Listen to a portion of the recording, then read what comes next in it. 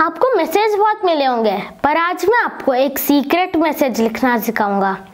उसके लिए आपको चाहिए होगा नींबू का रस, एक पेपर जहाँ पे आप लिखोगे, एक ईयरबड और एक कैंडल जिसकी मदद से आप उसको देख सकते हो। अब नींबू के रस से पेपर पर सीक्रेट मैसेज लिखते हैं।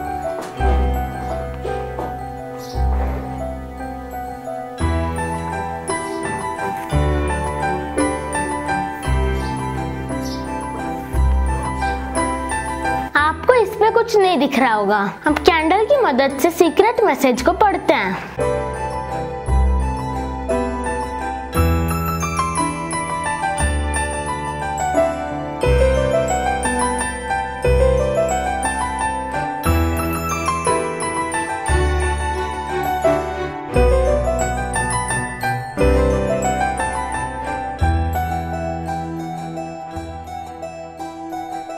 ये था मेरा सीक्रेट मैसेज आप भी इसको करके देखिए, आपको बहुत मज़ा आएगा।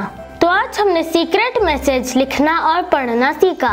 आप भी इसको करके अपने दोस्तों को सीक्रेट मैसेज भेज दिए। लेकिन ध्यान रहे कि जब मैसेज को पढ़ रहे हो, तब बड़ों के साथ पढ़े।